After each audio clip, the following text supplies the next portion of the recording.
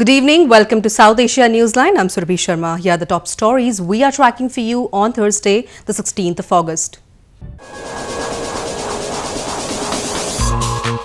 Former Indian Prime Minister Atal Bihari Vajpayee dies at 93.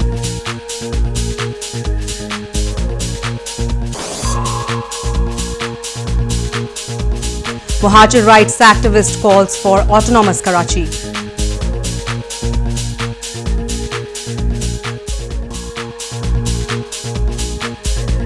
And suicide blast in Afghanistan capital Kabul kills at least 48.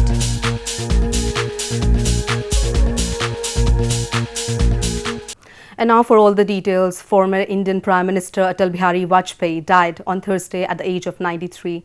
He was admitted to the All India Institute of Medical Sciences in New Delhi since June 11 with a kidney tract infection, urinary tract infection, low urine output and chest congestion. Born on December 25, 1924, Vajpayee was the first leader of India's ruling Bharatiya Janata Party or BJP to be sworn in as the Prime Minister. His birthday is celebrated as Good Governance Day by the party. Awarded India's highest civilian award, the Bharat Ratna, in March 2015, he was the moderate face of Hindu nationalism and was admired by his political foes. During his second term as Prime Minister, Vajpayee ordered nuclear tests in May 1998 in a strategic masterstroke to blunt Pakistan's nuclear ambitions. He followed this up with peace overtures to Pakistan, riding on the first direct bus from India to Pakistan in February 1999. Vajpayee announced his retirement from politics in 2005. Death toll rose to at least 73 in India's flood-hit Kerala province on Thursday. As the flood situation is getting worse by the day, the federal government has launched massive rescue and relief operations in the southern province. Death toll climbed to at least 73 in India's flood-ravaged Kerala province on Thursday. The Indian Meteorological Department has issued a red alert for 12 out of its 14 districts. It has also forecast heavy to very heavy rain in the southern province until Saturday. The transport system of the province has been severely affected due to rise in water. Over 50 rescue teams, including personnel from the Indian Air Force, Navy, Coast Guard, and National Disaster Response Force, have been deployed to find marooned people. Food packets and drinking water are also being rushed. അവസ്ഥ പിന്നെ വെല്ലം വെള്ളം രണ്ട് നിലയിലും വെള്ളം കയറി ഞങ്ങൾ അടുത്ത വീട്ടിൽ വന്ന രണ്ട് നില കയറിയിരുന്നു ഞങ്ങളുടെ സാധനങ്ങൾ മുഴുവനും വെള്ളത്തിലായി പിന്നെ നശിച്ചു പോയി Famous for its coastline and picturesque backwaters, Kerala is a major destination for domestic and international tourists. The province last saw such devastating flooding in 1924. In news from Pakistan, the presidential election in Pakistan will be held on September 4th. The country's poll body announced on Thursday. President Mamnoon Hussain's five-year term is set to expire on September 9th. The Election Commission said nomination papers for the post can be filed on August 27th. With less than a month left before the expiry of President Mamnoon Hussain's term, the Election Commission of Pakistan on Thursday issued a schedule for presidential election setting September 4th as the day of the ballot. President Hussain's five-year term is set to expire on September 9th. According to the constitution, the presidential election must be held at least a month prior to the expiry of the incumbent's term, which in this case would have been August 8th. The president is elected through a secret ballot by an electoral college comprising members of the Senate, National Assembly and four provincial assemblies. Ordinarily, the presidential election is held either a month after the general elections or at least a month before the expiry of the president's tenure. Holding a presidential election on August 8 was out of the question. However, since neither the national nor the provincial assemblies were functional then. Moving on, prominent Muhajir activist and Voice of Karachi chairman Nadeem Nusrat has called for an autonomous Karachi. He blamed that the Muhajir are being suppressed in Pakistan and their rights are being violated. Nadeem Nusrat, a prominent Mohajir activist and the chairman of Voice of Karachi, has called for an autonomous Karachi as Mohajirs in the Pakistani city are being suppressed without getting any rights. While talking about ethnic and minority rights in Pakistan, Nusrat blamed Muhajirs are being targeted in the country for raising voice against injustices being meted out to them. He also informed that the Voice of Karachi, a US based advocacy group, is raising the voice of every voiceless belonging to ethnic and religious minority who are routinely killed in Pakistan. Muhajirs, especially whose forefathers are at the forefront of Pakistan movement, have been systematically targeted in Karachi and other areas, urban areas of Sindh province.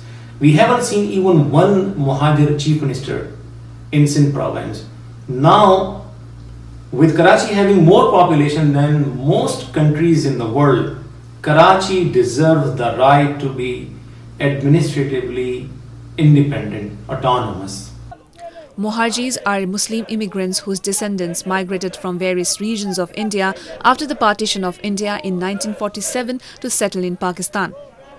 They have long blamed Pakistani establishment for sponsoring terrorism and inflicting gross human rights violations against the community in the country. In news from Afghanistan, at least 48 people were killed and several wounded on Wednesday in a suicide attack on an educational center in Afghan capital Kabul city. There was no immediate claim of responsibility for the blast, which came after several weeks of relative calm in Kabul. The death toll from a suicide blast at an education center in mainly Shiite area of Kabul on Wednesday reached 48 with another 67 wounded, the health ministry confirmed. The explosion happened on Wednesday at a time when students in the center were in class.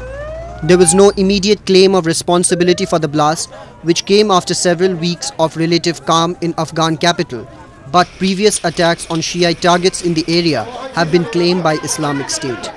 جایی که داخل کورس مکلان بود یک پنج تا زخمی بود دیگه کلان شهید شده بود در حالتی بود که دیگه اصلا بعضی از جای جمع نمیشد The Taliban, which has been intensifying its attacks against the military and the government centers in recent weeks, issued a statement denying involvement in Wednesday's attack. More on news from Afghanistan. Independent Human Rights Commission of Afghanistan has claimed that human rights were violated in Ghazni and many war crimes were also committed during the four-day clashes between the security forces and Taliban in the city. The watchdog said bodies of the deceased were left untouched on the ground for days during the clashes. Officials from the Afghanistan's Independent Human Rights Commission or AIHRC on Wednesday said human rights violations were committed in Ghazni and many war crimes occurred during the four-day siege on the city. AIHRC also added substantial damage was caused to government and private properties with many homes and businesses looted. In reference to the human rights violations issue, the AIHRC said the bodies laid untouched on the ground for days. در اونجا از تلفات ملکی افراد ملکی گرفته تا تخریبای گسترده و غارت اموال ملکی حمله بر محلات ملکی و عامه. این اتفاقات صورت گرفته که همه همه نقض حقوق بشری و در بسیاری جهات مصداق جرایم جنگی هست In the first few hours of the attack, which started last week, only a small number of security forces resisted the onslaught by Taliban, which enabled the terror group to take over the key areas of the city, said local media reports. The clashes in Ghazni have dampened hopes of peace talks ahead of the parliamentary elections in Afghanistan this year. The first female wheelchair basketball player, Insha Bashir from India's Jammu and Kashmir, is inspiring many in the valley. After fighting the depression of a childhood accident, Bashir, who is confined to wheelchair, started practicing the sport to feel motivated and achieve life goals.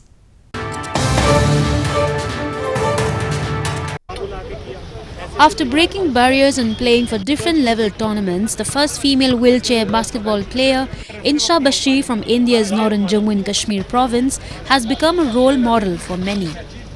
Bashir was confined to wheelchair after an accident which made her disabled to walk. After fighting the depression of her accident, Bashir started practicing basketball and now has played for many local and national level wheelchair basketball tournaments. मुझे बचपन से खेल कूद में बहुत ज़्यादा interest थी। मैं क्रिकेट खेलती थी और हमेशा खेलती रहती थी खेल कूद में बहुत ज़्यादा इंटरेस्ट थी। उसके बाद इन 2017 मैंने डिसाइड किया कि मैं क्या कर सकती हूँ फर्दर जो मुझे थोड़ा खुशी महसूस हो, जाए लिवली फील हो। तो मैं वॉल्टियर मेडिकेल सोसाइटी आ गई।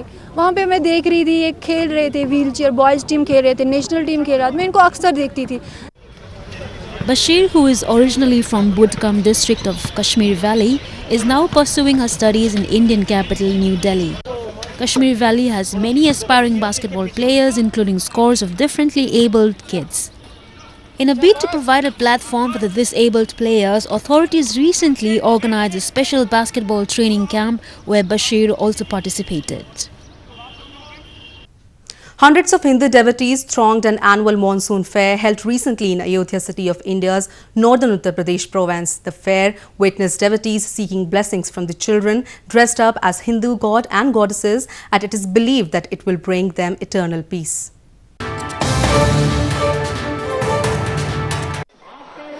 Hundreds of Hindu devotees thronged to India's holy city of Ayodhya in northern Uttar Pradesh province on Tuesday to attend an annual monsoon fair.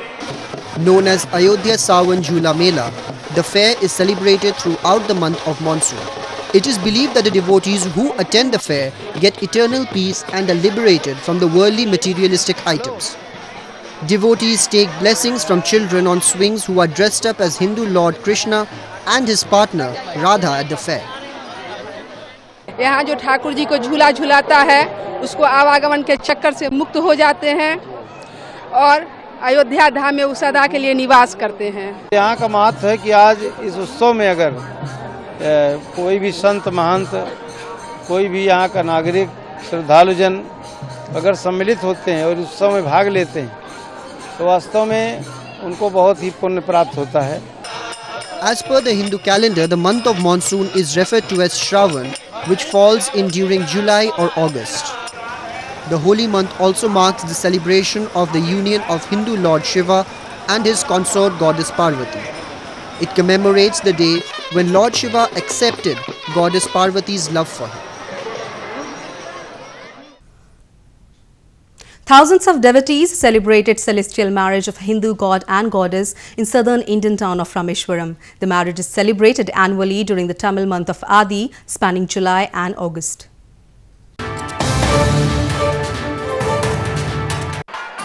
Thousands of devotees celebrated the celestial marriage of a Hindu god and goddess in Rameshwaram town of India's southern Tamil Nadu province on Thursday. The divine marriage of god Ramanathaswamy with goddess Parvata Vardhini Amman is annually celebrated at Ramanathaswamy temple during a 17-day span. Special prayers were offered and holy chants were recited by the priests. Amidst the Vedic chants, chief priests of the temple adorned goddess Parvata Vardhini with a sacred thread used to symbolize marriage between two people. Rameswaram Ramanatha சுவாமி கோயிலுக்கு இன்றைக்கி திருக்கலை நடந்துச்சு அம்பாளுக்கு சாமிக்கு திருக்கலை நடந்துச்சு இது உலக புகழ்பெற்ற ஒரு திருத்தலமாக அம்பாளுக்கு சாமிக்கு திருக்கலை நடந்த எல்லோரும் நேற்று நல்லபடியாக நடந்துச்சு எல்லா மக்களும் வந்து கலந்துக்கிட்டாங்க கோடான கோடி பேர் கலந்துக்கிட்டாங்க இதில் என்ன ஒரு விசேஷம்னா அம்பாளுக்கும் ஐயாவுக்கும் திருக்கல்யாணத்தை நம்ம எல்லோரும் பார்த்தோம்னா கன்னி பொண்ணுகளுக்கு கல்யாணம் கன்னி பொண்ணுகளுக்கு கல்யாணம் நடக்கும்னு ஒரு ஐதீகம் The event, which is celebrated during the Tamil month of Adi in July and August, was also attended by political leaders along with others. Well, that's the way it was in South Asia this evening. Before we conclude the top stories once again.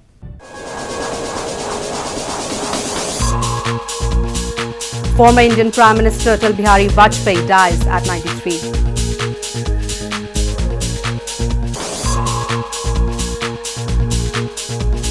Muhajir rights activist calls for autonomous Karachi.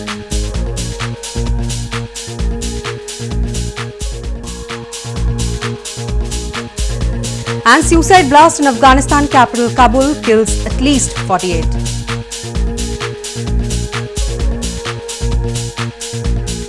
Now our viewers can watch the show on SouthAsiaNewsline.com. You can also visit us on Facebook.com slash SAsiaNewsline and follow us on Twitter at SAsiaNewsline.